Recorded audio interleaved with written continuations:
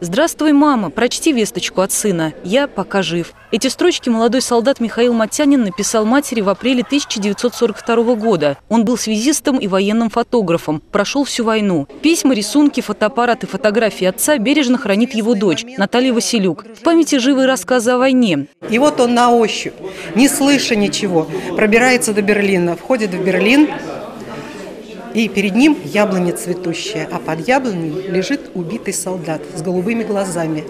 И небо отражается в его глазах. У него в душе все перевернулось, как он рассказывает.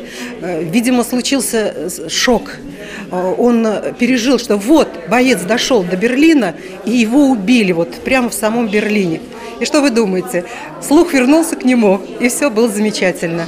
Все экспонаты выставки «Была война» предоставлены из частных коллекций и семейных архивов. Фотографии, документы, письма, формы и награды – всего больше сотни старинных вещей. Чтобы молодое поколение смогло прочувствовать, насколько тяжело приходилось их сверстникам в годы Великой Отечественной, авторы выставки сделали в подвале дома импровизированное бомбоубежище. Здесь все как во время войны. В небольшом холодном помещении несколько скамеек, алюминиевый чайник и радиоприемник. Это было очень ужасное время. Мне было, мне очень было страшно, и я бы от мамы никуда не отходила.